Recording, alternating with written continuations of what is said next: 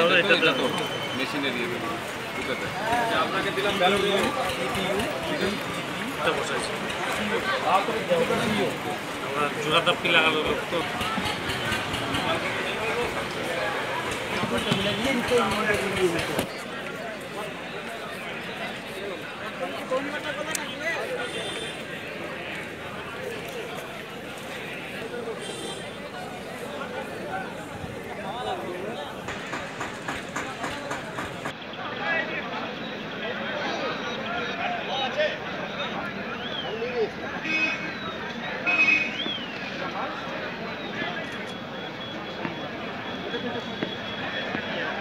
মানে election duty আপনাদের কেমন লাগছে? সে একটু তো প্রবলেম হচ্ছেই যে কিছুদিন আগে একটা ডিউটি করে এলাম আবার পড়ল। কিন্তু আমাদের সবার কথা ভেবে দেশের কথা ভেবে সে যাচ্ছি বেশ ভালোই লাগছে। বলছি কোনো আতঙ্ক লাগছে কি? এর আগেও তো চোপড়াতে একটা মানে গন্ডগোল হলো কোনো আতঙ্ক লাগছে? সে আতঙ্ক তো কিছুটা ছিল কিন্তু সকালবেলা থেকে দেখলাম বিভিন্ন জায়গাতে সেন্ট্রাল ফোর্স দিয়েছে। সেই তুলনায় একটু স্বস্তি বোধ করছি। দেখা যাক কি হচ্ছে। আপনার যেখানে ডিউটি যাবেন সেখানে যদি সেন্ট্রাল ফোর্স না সেন্ট্রাল ফোর্স যদি না থাকে তাহলে কি আপনারা ডিউটি করবেন?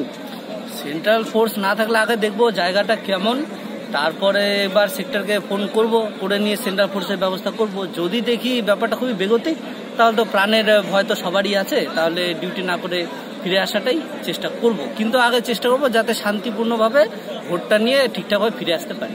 আপনার নাম? আমার নাম সন্দীপ সাঙ্গা এক মাসের মধ্যে দুবার ইলেকশন ডিউটি কেমন লাগছে? না ইলেকশন তো সবসময় উৎসবের মধ্যে আমরা দেখি। ভালোই লাগছে খুব একটা খারাপ লাগছে না। ইলেকশন ডিউটিতে যাচ্ছি। যাও মানে আবহাওয়া ভালোই আছে সেরকম আতঙ্কের কিছু নেই। চোপড়াতে একটা বিশৃঙ্খল ঘটনা ঘটেছিল কোনো আতঙ্ক লাগছে? দেখুন কোনো আতঙ্ক লাগছে? চোপড়া একটা বিশৃঙ্খল ঘটনা ঘটেছিল। না দেখুন এখানে এখানে আসার পর দেখা যাচ্ছে আতঙ্কের কিছু নেই। চোপড়ার রাজনীতি আর ইসলামপুর রাজনীতির মধ্যে অনেক ডিফারেন্স রয়েছে। এখানে আমরা কোনো এরকম আতঙ্ক কিছু দেখছি সেন্ট্রাল যদি না থাকে আপনি কি ডিউটি করবেন? না দেখুন ডিউটি তো আমাদের অধিকার মানে করতেই হবে। সেটা ডেমোক্রেটিক রাইট আছে। সেন্ট্রাল বাহিনী না থাকলেও করব কিন্তু তাও সেন্ট্রাল বাহিনী থাকলে ভালো হতো।